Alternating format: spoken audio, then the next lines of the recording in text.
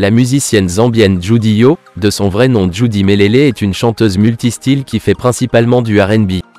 Judy Yo est née en 1990 dans le district de Mufulira, dans la région de Copperbelt. Des amis proches de Judy Yo ont déclaré à ZambianMusic.net qu'elle, Judy Yo, avait fréquenté l'école secondaire Hillcrest. Judy Yo a également fréquenté NIPA où elle a obtenu un diplôme en relations publiques. Elle a débuté sa carrière à l'âge de 18 ans en 2008. Il était rare à cette époque en Zambie de voir une jeune artiste adolescente chanter du RB dans la langue locale. L'image s'est bien vendue, propulsant son premier album, Supernatural Woman, au numéro 1.